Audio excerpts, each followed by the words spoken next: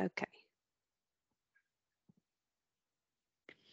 Hi everybody, it's Dr Midgley from the St Francis Hospice in Outer East London and I'm doing a little presentation on where you can find the version 4 MAR charts, our new MAR charts, and embedding the new MAR charts into practice, with thanks to the Pan London team, NELFT and um, NHS London for some of the slides.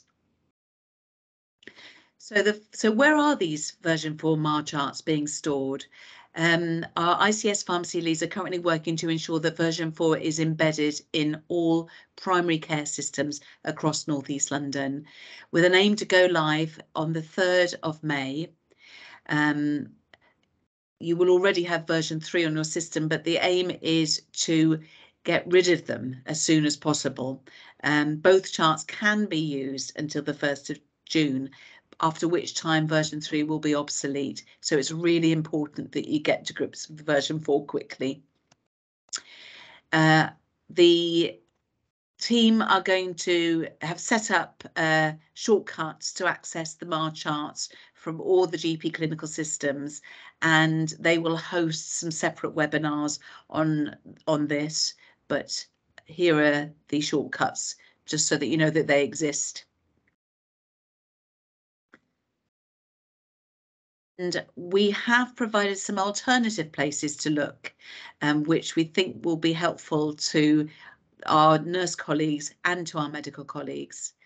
So an alternative place to look is the NELFT intranet and all of our nurses will be aware of that and will get some training and navigation about that. But we've also set up temp um, templates and advice and support on the hospice websites, St Francis and St Joseph's. And I will show you, for example, how to access uh, the Mars charts from St Francis Hospice website. So you can see on the left that I've given you what you track down to. On the right, this is what the opening page of St Francis Hospice website looks like. And you'll see the arrow pointed at a let us help you uh, instruction on the first page. If you click into let us help you, you will get this orangey drop down and the fourth uh, instruct along is professional resources and education.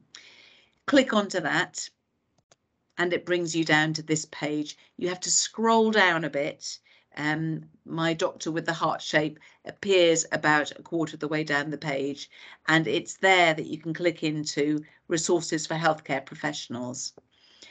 And that opens up a really useful page for you all about um, symptom control and MAR charts.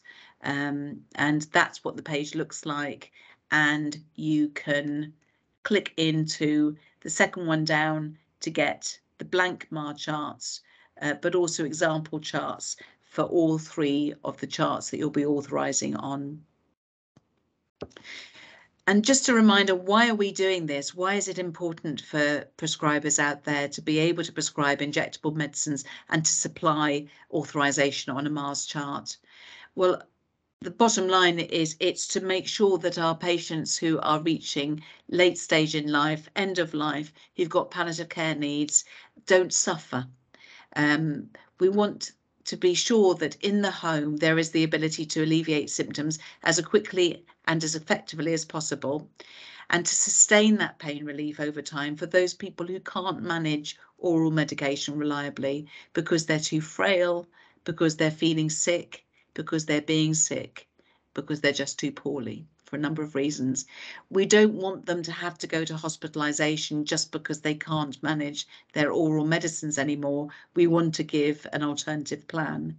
And ultimately, the, the aim is to support people to live as well as possible with advanced illness and to be cared for to the point of death where they want to be, which is most commonly at home these charts and these medicines give what I call tools in the house for any visiting health professional to be able to do something when they see suffering. Thank you for learning how to complete the charts so that they can be helpful.